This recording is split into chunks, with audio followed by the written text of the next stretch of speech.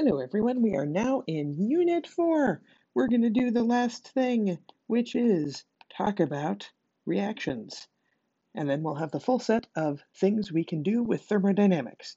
So I'm first going to cast this as relaxing the last constraint, and then we're going to talk about reaction-free energy.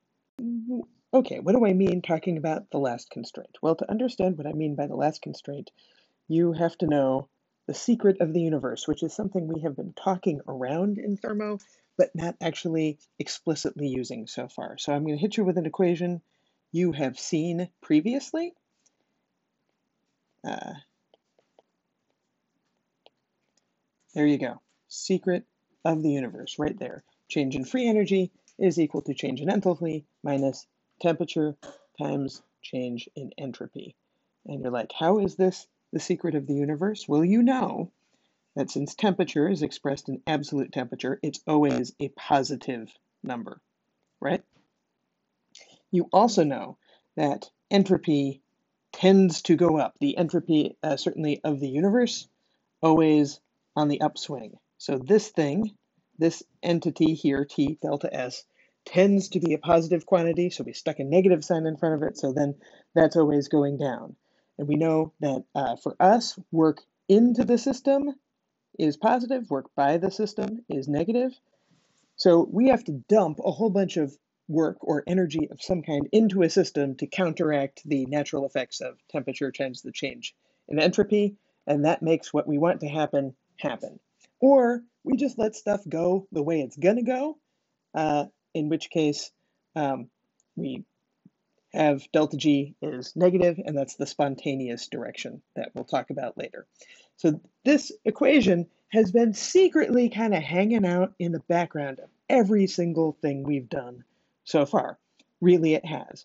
And what do I mean by that? Well, in units one and two, where we were focused on energy balances, entropy balances, and systems, uh, systems like cycles and uh, refrigerators and engines and so on, um, we allowed energy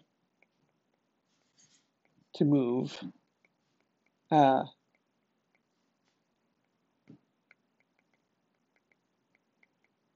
towards equilibrium, right? So things uh, moving towards equilibrium, moving towards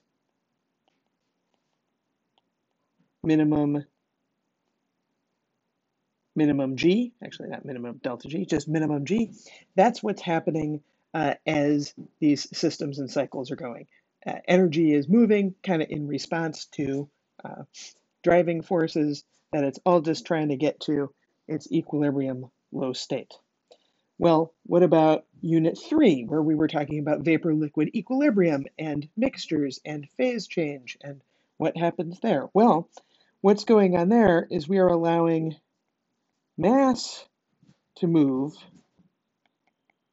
towards equilibrium. And these are additive. Energy didn't stop moving. Energy is moving, now mass is moving. Um, we have phase change, ETC. All right. What are, uh, what are we going to do now? So we're still trying to minimize, by the way, all these things going on here, still trying to minimize free energy. Well, what's the next and last thing we can do to minimize free energy? If energy can go any way it wants and mass can go kind of any way it wants, now we are going to let bonds, and I'm just generally classified as bonds of any kind, um, and atoms to move towards equilibrium. What? Yep, get out. It is the same thing. So in all cases, we have systems that are trying to move towards their lowest free energy state. And we used to only let things kind of have the energy move around, so temperature changes the right way. And that would be what we started with.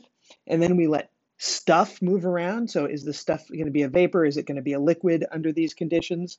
Well, uh, we've relaxed the constraint. That is, we're doing the math that shows which of those things it ought to be. And now finally, we're not even going to make stuff be the same stuff all the time. Stuff can change to be different stuff. we can start with, say, uh, some sugar, and the sugar may end up as CO2 and water uh, if that is the favorable way to go under these circumstances. Um, so there you go.